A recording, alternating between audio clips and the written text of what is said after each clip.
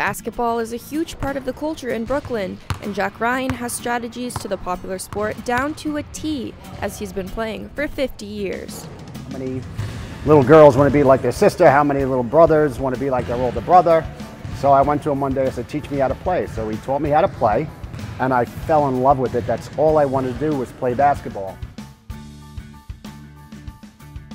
Shot pocket just like that will help you do so because if your elbow is there or there or there, you're never going to get it in the same spot. Right here, you have a much better chance. Then you're going to put the basketball in your right hand. Your left hand is just a guide or the balance hand. So put that there. Left hand is just guide or balance hand. Now when you shoot, you have to give the gooseneck.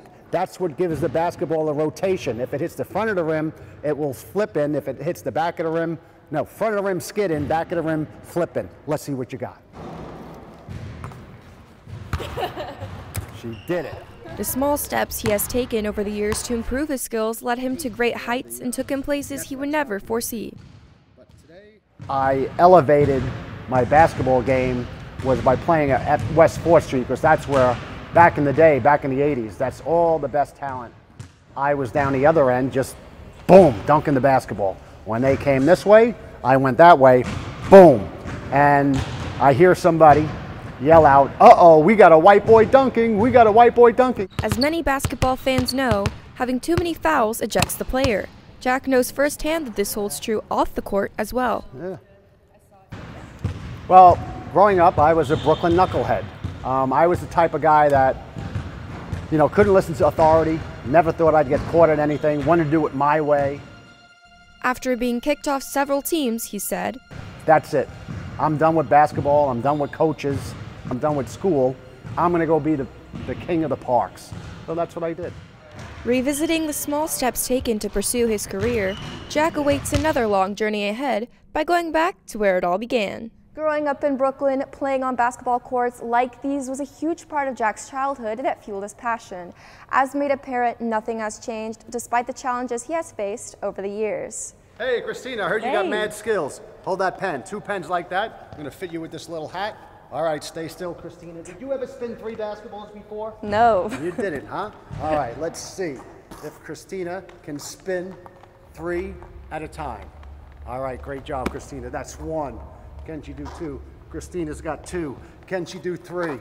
Hold on. Can Jack do three? All right, here we go. Way to go, Christina. Three basketballs at the same. My life changed in 1997 when I became a Harlem Wizard and I got self-esteem back. I knew this is why I'm here on earth and I knew I wasn't screwing this up like I screwed everything else up.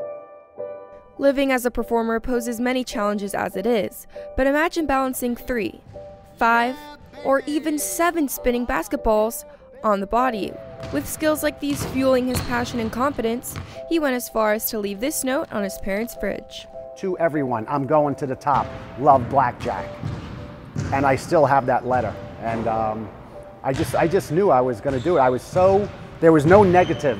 The negative was gone. The anger was gone. It was just all positive. But the struggles are not over on this long journey, while mainly relying on resilience. I've been knocked down many, many times. I just got knocked down again six, six weeks ago. I had my valve replaced in my heart. Um, but I'm back. I'm back playing basketball. I feel better than ever and I'm ready to just keep going, inspiring kids. That's, that's what I really want to do.